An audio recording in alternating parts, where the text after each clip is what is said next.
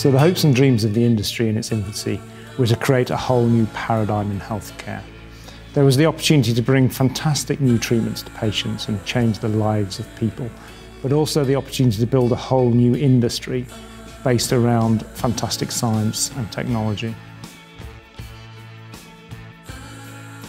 Advanced therapies is a good phrase. Advanced therapies captures the goal of treating diseases which are difficult using products which are sophisticated. Advanced therapies, as I see it, is basically a therapy of the new generation. Therapy that is based on a biological mechanism that fights a complex disease.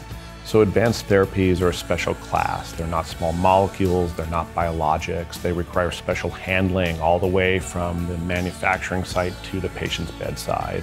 When it first started, it would come to commercialization fairly quickly.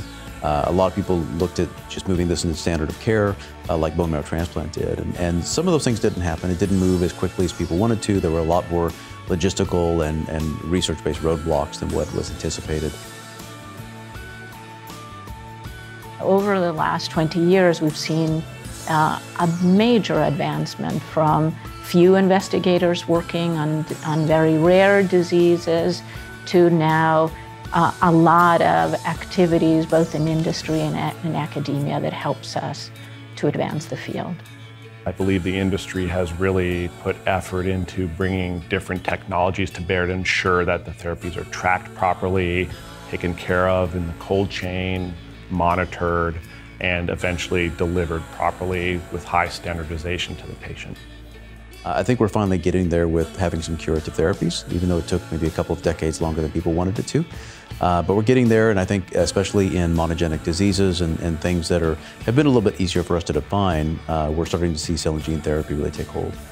There is not only sort of support and acceptance from society as a whole that this is something safe, but important for our industry also, there's investment to continue to exploit this technology and also um, government agencies. The tailwind which is driving this is clinical data, and today we're privileged to be at an inflection point where these first pieces of efficacy data are coming in. This will unfold the roadmap forward uh, to 2025 and beyond. By that time, we've actually put in place the infrastructure to allow these therapies to be broadly distributed around the world, help all the patients that can be helped in a very efficient manner. If you come back 10 years from now, you might see a machine in the hospital that will take blood from one side and give you CAR T cells on the other side. That's the only way this could really succeed in 10, 15, 20 years from now.